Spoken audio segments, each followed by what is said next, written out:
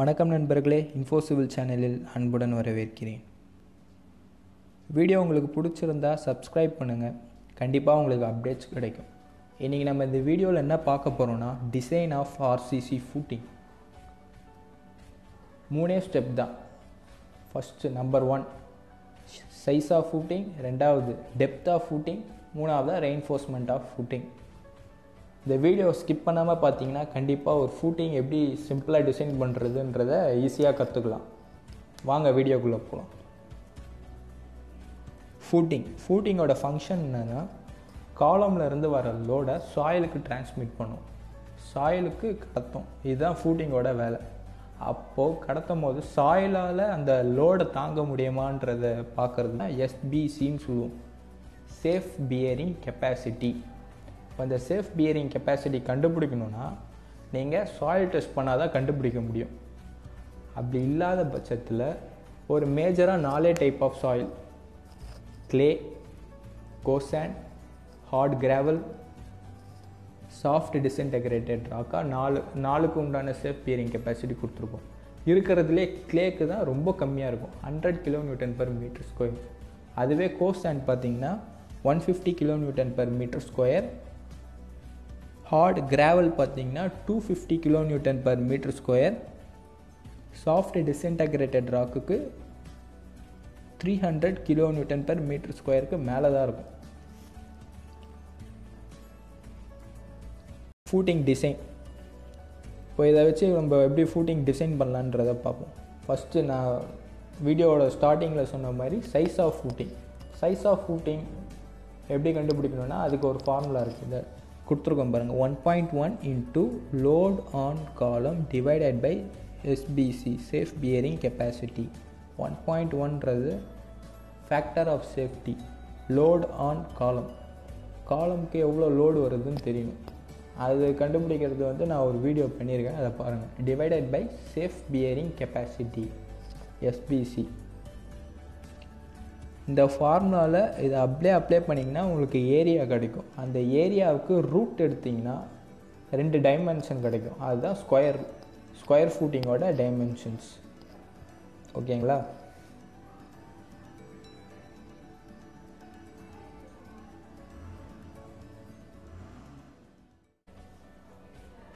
ரெண்டாவது step depth of footing depth of footing கண்டுபிடிக்கிறதுக்கு ஒரு டேப்லர் காலம் கொடுத்துருக்கோம். ஃபஸ்ட்டு காலமில் பார்த்தீங்கன்னா safe bearing capacity of soil உங்கள் சாயிலோட சேஃப் பியரிங் கெப்பாசிட்டி ரெண்டாவது காலமில் வந்து டெப்த் திக்னஸ் எப்படி வேணால் சொல்லிக்கலாம். மூணாவது டைமென்ஷன் நம்மளுக்கு சைஸ் கிடச்சிச்சு. சைஸ் மூலயமா அடுத்த டைமென்ஷன் அதோட திக்னஸோ இல்லை அதோட டெப்த் எப்படி கண்டுபிடிக்கிறதுன்னு கொடுத்துருக்கோம்.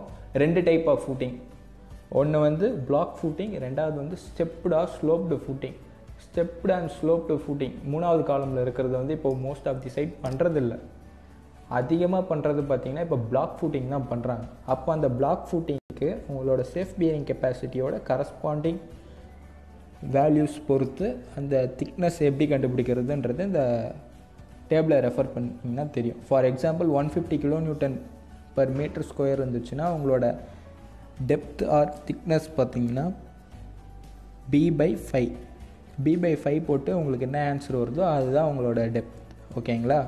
பின்றது பிரெத்து டின்றது டெப்த் ஆஃப் ஃபுட்டிங் ஓகேங்களா? டீன்றதை டெப்த்துன்னு வச்சிங்கன்னா திக்னஸ்னு வச்சுக்கலாம். எப்படி வேணால் வச்சுக்கலாம். Third dimension of your footing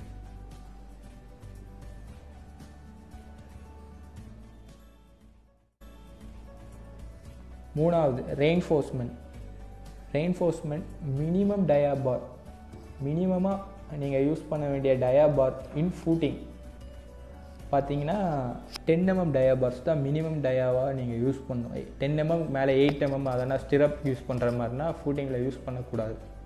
Minimum dia bar eight mm thumb rule படி up to two metre width இருந்துச்சுன்னா டென் எம்எம் டயாபார்ஸ் யூஸ் பண்ணுங்கள் two to three metre width வரையும் இருந்துச்சுன்னா ஃபூட்டிங்கோட size twelve mm dia bar use பண்ணுங்கள் அதுவே three மீட்டருக்கு மேலே போச்சுன்னா sixteen mm dia bar use பண்ணுங்கள் மினிமம் ஸ்பேசிங் ஆஃப் பார் பார்த்தீங்கன்னா ஹண்ட்ரட் எம்எம்னு இருக்கணும். அது மேக்ஸிமம் ஸ்பேசிங் பார்த்தீங்கன்னா டூ ஹண்ட்ரட் எம்எம் கொடுக்கலாம். அப்போது உங்களுக்கு ஸ்பேசிங்கை பொறுத்தவரையும் hundred to two fif two hundred mm hundred to two hundred mm தான் ஸ்பேசிங் இருக்கணும். இதுக்கு இடையில தான் இருக்கும் இவ்வளோ தான். இதுதான் டிசைனு இந்த வீடியோ பிடிச்சிருந்ததுன்னா சப்ஸ்கிரைப் பண்ணுங்கள் சேனலை சப்போர்ட் பண்ணுங்கள்